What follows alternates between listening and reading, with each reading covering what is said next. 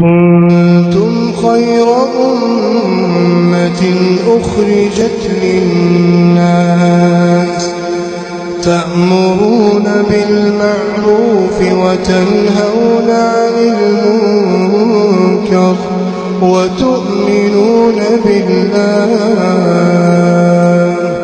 ولو آمن أهل الكتاب لكان خيرا لكان خيرا لهم. منهم المؤمنون وأكثرهم الفاسقون. ওয়ালাইকুম আসসালাম রহমতুল্লাহ বরকাত জীবন প্রশ্ন করেছেন যে মৃতদেহর সামনে যদি কেউ কাদাকাটি করে, তাহলে সে শুনতে পায় কি? জীবন সে শুনতে পায় না, এটা নিশ্চিত। দুই নম্বর বিষয়, এখানে মূল বিষয় হচ্ছে এটাই যে মৃত ব্যক্তির সামনে যদি তার আত্মীয় স্বজন যদি মানে খুব চিৎকার দিয়ে কাঁদে বা তার গায়ে যদি স্পর্শ টাচ করে, সেক্ষেত্রে সে ব্যথা অনুভব করে। দুই নম্বর, মৃত ব্যক্তির জন্য যদি তার আত্মীয় স্বজন কাঁদে, তো মৃত ব্যক্তিকে প্রহর করা হয়।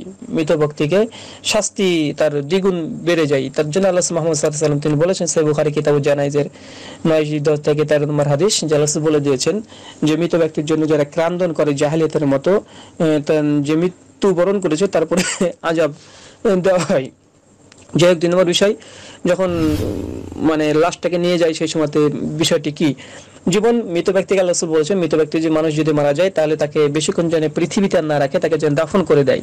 ওপরে যেন না রাখে, দাফন করে দেয়। আল্লাহ যেটা বোঝাতে চাইছেন, তারপরে তিনি বলেছেন যে, কেননা সে যদি জান্নাতি ব্যক্তি হয়, তাহলে তাকে বাইরে রেখে তাকে কষ্ট দেওয়া হচ্ছে। আর সে যদি জাহান্নামি হয়, তাহলে আল্লাহর আজাব থেকে তাকে মুক্তি দেওয়ার চেষ্টা করা হচ্ছে তার জন্য রাসূল বলছে তাতে দাফন করে দিতে এতটাই সহি হাদিস সহি বুখারী মুসলিমে কিতাবে জানায় যে একাধিকবার হাদিসগুলো এসেছে বিশেষ করে মিশকাত হাদিস নাম্বার নব্বই থেকে একদম একশো কুড়ি পর্যন্ত পড়বেন অনেকগুলো হাদিস বর্ণনা হয়েছে এই কবর আজাব প্রসঙ্গে আশা করি বিষয়টি স্পষ্ট হয়েছে জাজাকাল্লাহ খায়ের أشرقت نفسي بنور من فؤادي حينما رددت يا رب العباد